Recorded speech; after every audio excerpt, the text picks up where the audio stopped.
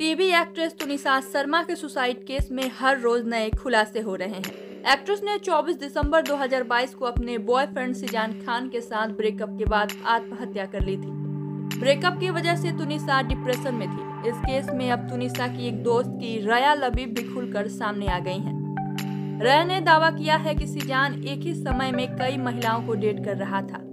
उसके कई लड़कियों से अफेयर्स थे और उसने एक साथ छह से दस महिलाओं के साथ शारीरिक संबंध भी बनाए थे। इंडिया टुडे के साथ बातचीत में दया लबीब ने सिजान खान को प्ले बॉय करार दिया है।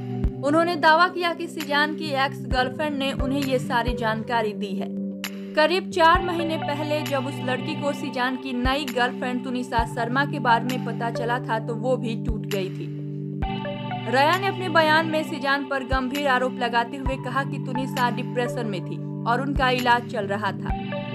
वह इसके बारे में बात नहीं करना चाहती थी। तब उनके को स्टार सिजान ने प्यार का वादा करके अपनी सेक्सुअल नीड को पूरा करने के लिए कई महिलाओं का इस्तेमाल किया था। वह उन सभी को धोखा दे रहा था। शुरुआत में सिजान को भी तुनिसा से प्यार था और स्क्रीन पर दोनों की जोड़ी अच्छी लगती थी।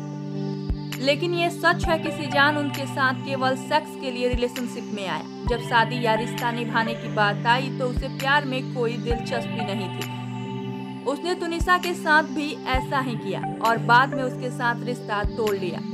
दोनों के बीच ज़रूर किसी तीसरे को लेकर झगड़ा हुआ होगा। यही कारण है कि तुनिसा ने अपनी जान ले ली। रया लाबीब ने तुनिसा की प्रेगनेंसी को लेकर भी दावे किए हैं। उन्होंने कहा, ये बहुत पॉसिबल है। कि तुनिसा शर्मा प्रेग्नेंट थी। हो सकता है कि सुसाइड के वक्त न हो, लेकिन पहले प्रेग्नेंट हो सकती थी और गोलियाँ खाकर अबॉर्शन कराया होगा। मैं निश्चित रूप से नहीं जानती, लेकिन वह किसी बात को लेकर बहुत टेंशन में थी। हालाँकि रया ने कंफर्म किया कि तुनिसा सिजान के प्यार में पागल थी और शादी करना चाहती थी।